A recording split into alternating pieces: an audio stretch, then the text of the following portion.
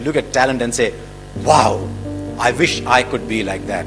And yet you find that excellence is not about talent alone. In fact, a major, major part of excellence has nothing to do with talent. And in course of time, once you go beyond a certain level, ability or talent is the most useless virtue to possess. It's what you do with that talent that matters.